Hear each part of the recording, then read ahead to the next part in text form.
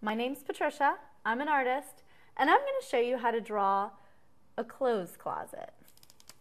All right, so if you have clothes in a closet, you would just draw your typical door, and then you could have a bar inside, and then you could hang the clothes.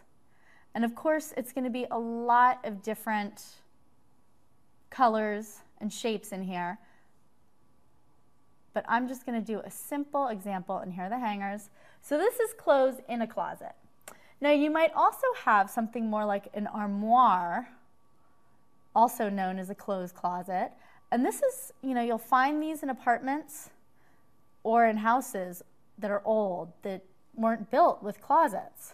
And so people will get armoires, and they're huge pieces of furniture that have two large doors, and I'm going to make one of these doors is going to be opened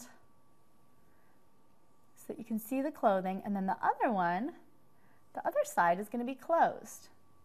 So basically, an armoire has two doors, and inside of it, you might have some beautiful clothing. Again, you have the bar across, you have the hangers, and you have, you know, you might have a dress hanging here. So we'll put the sleeves, the dress. Let's put a, a cute little pink number, maybe with puffy sleeves. This one's going to be a little bit shorter. So in here, and you know what, I'm just drawing three little outfits. In a real closet, there might be a lot more. Let's do a, um, this is a shirt.